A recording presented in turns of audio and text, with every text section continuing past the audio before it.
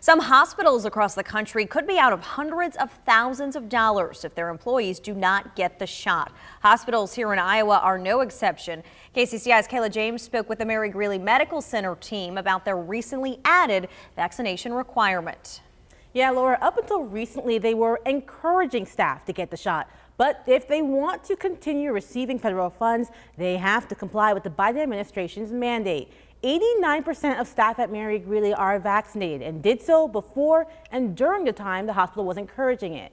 8% of people aren't yet, and the remaining 3% are either in the process or have turned in an exemption form. Now, that's where a spokesperson with the hospital tells me it gets tricky. The Centers for Medicaid and Medicare Services reimbursed hospitals across the country for patient care. It requires people submitting, submitting a medical exemption to have it signed by a doctor. Iowa's new law doesn't require a signature by a healthcare provider. If hospitals receiving money from CMS don't comply, it would mean a harsh financial impact on hospitals, including Mary Greeley.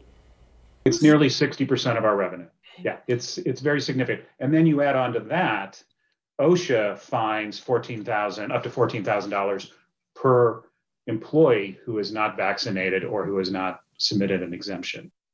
Now, hospitals hoping to stay in compliance like Mary Greeley have until January 4th to get to that point. As for the issues of the federal mandate in Iowa's new law, Steve Sullivan tells me Mary Greeley's attorneys are looking into how the two coexist. He adds on they don't want to lose anyone, especially after all the efforts he's seen the team make throughout the pandemic. Laura